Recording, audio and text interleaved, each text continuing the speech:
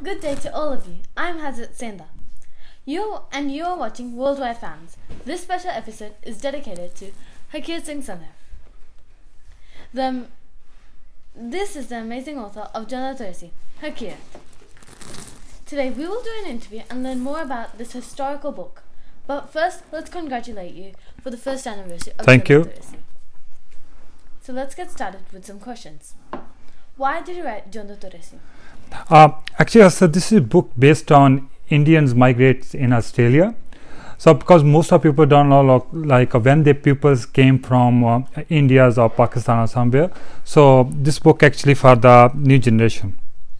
Okay. How many chapters and stories are there? Uh, they have around uh, uh, 80 chapters and around 160 different stories up there. Okay.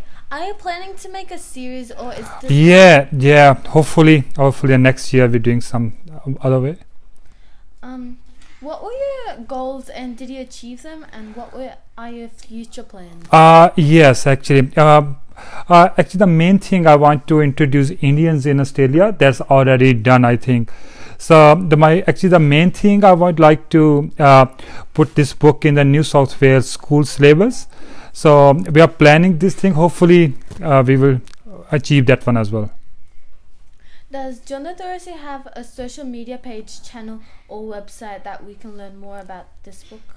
Yeah, they have the uh, website as well. Is indianinaustralia.com.au and the Facebook page Jadon Turesi and many more types like you can get a book or you can go through in the, my next episode as well.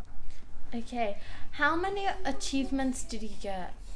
And awards Is um is many actually is even in India as well. I got the uh, top five authors award as well, and in Australia many is is a Gemco award and uh, in uh, Melbourne some of them.